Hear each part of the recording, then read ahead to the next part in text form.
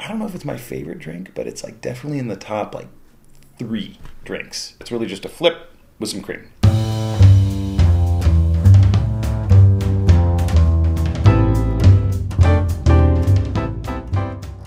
So I do this like blender recipe where I use a blender to mix uh, the eggnog, and it's been really popular. Um, you know, it's like it's in the New York Times cookbook now, which is really cool. Um, I didn't really think that it was a um, some sort of innovative technique at the time. I just wanted to like make a bunch of eggnog, right? And you could use a whisk, but it works really well in a blender. And you know, the the only thing to say about the blender is you can't use like a really high powered professional blender because it's going to scramble the eggs. I just start by cracking in a couple of eggs and then turning it on to low speed just to get those going, you know, get them beaten. Um, you know, we don't want to make a big frothy mess. We just want to make sure that they're uniform. Break up all those egg whites, you know, and make it just just a, a perfectly uniform kind of liquid. And then I have three ounces of um, sugar. I'm using uh, superfine sugar, you know, like bar sugar, and just really slowly, as the blender's going, just adding the sugar so that it's getting whipped into the um, egg mixture and dissolving.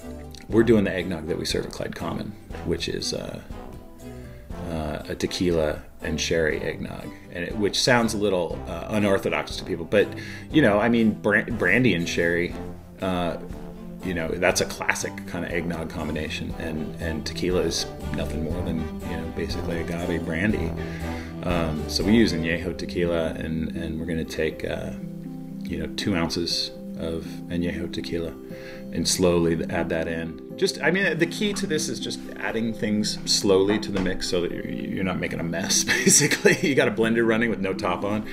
Next i'm just going to add two and a half ounces of uh, amontillado sherry. This is a really dry, nutty sherry.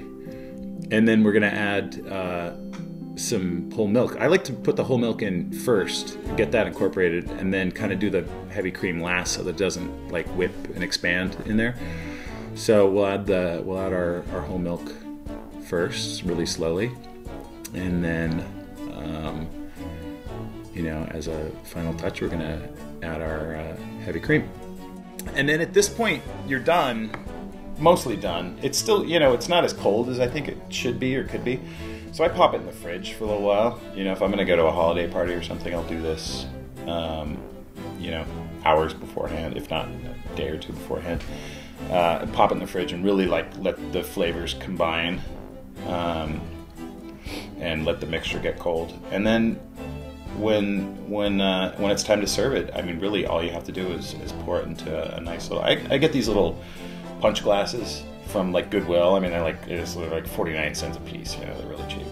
Get a set of those and keep them chilled, of course, because we're gonna put a cold drink into a nice cold glass and uh, fill it with our, our chilled eggnog, and then just grab a microplane and grate some uh, some fresh nutmeg right over the top, just a little bit. And this is this is a good time, you know, to maybe put a little extra effort into it and, and grate in kind of a nice nice way. I like to, to sort of grate it really fine in the very center. I think it just looks nicer than like a sort of sloppy dusting all over the entire glass.